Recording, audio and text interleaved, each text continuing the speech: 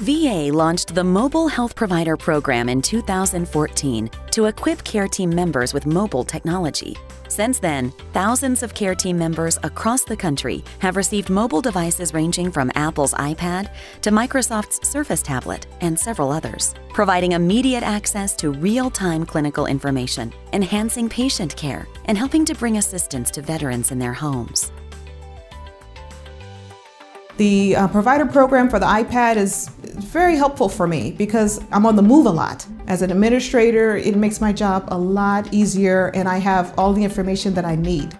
Well, being out of the office, um, it's, it enables us to, to keep in contact, whether it just be checking simple emails, um, checking your schedule, checking other people's schedule. I use it to check for messages as an administrator.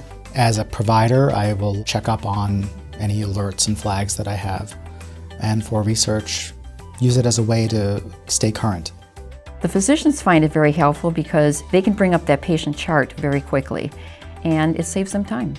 I used to carry a laptop before we were issued the iPads and I, I like the iPads much better. It's lighter, it holds a charge longer than the laptop used to, it boots up faster, every aspect of it has been an improvement. It's easy, it's fast, and they don't have to waste time trying to get to these materials.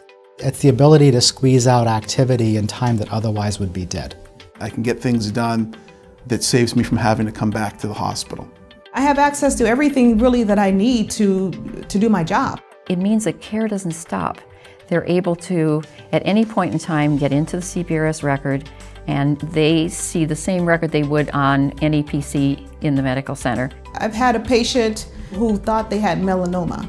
So I showed them that picture that they had of themselves and then I also showed a picture of exactly what melanoma would look like. And so when they saw that, they kind of relaxed and said, okay.